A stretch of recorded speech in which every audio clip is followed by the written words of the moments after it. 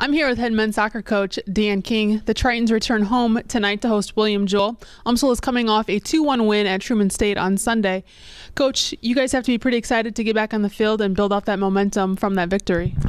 Yeah, we're looking forward to playing here back home. Um, we got a nice victory on the road against Truman, and uh, we're, trying to get back to back wins. All right, Coach, like I said, you guys play William Jewell tonight. They do not have a conference win, but it's a game that you cannot take lightly. What do you say to your guys tonight going into this contest?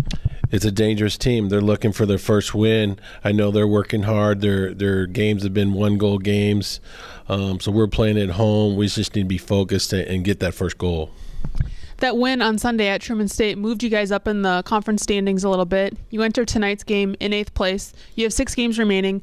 What do you what do the Tritons have to do to stay in that top eight with these last six games remaining? Well, there's a lot of things there. You know, we have to keep things tight. Um, we have to score goals.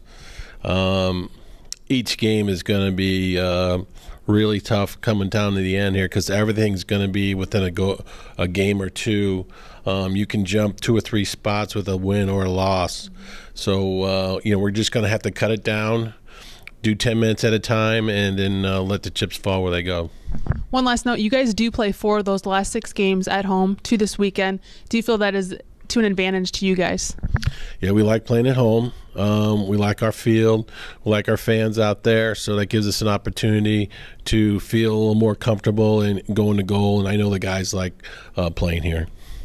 All right, Coach. Good luck tonight and on Sunday as well. Thank you very much.